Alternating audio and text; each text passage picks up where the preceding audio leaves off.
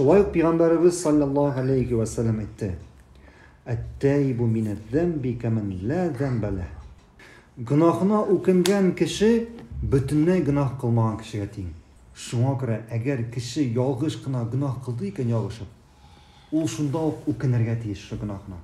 Үкенергә тиеш һәм әгәр дә ул эшләгән гөнаһына үкенсә, тәүбә итсә, ул бөтенләй бу гөнаһны эшләмәгәнгә тиң булачак. Гөнаһыңа үкенгән кеше бөтенләй гөнаһын эшләмәгәнгә тиң булачак.